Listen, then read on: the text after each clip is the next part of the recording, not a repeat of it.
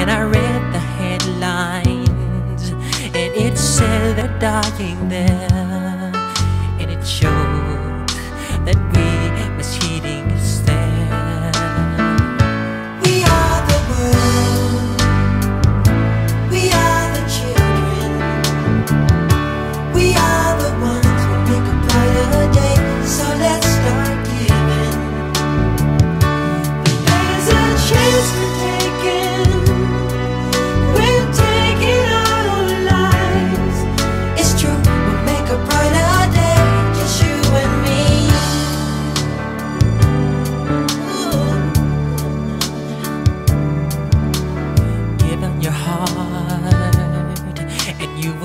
that someone can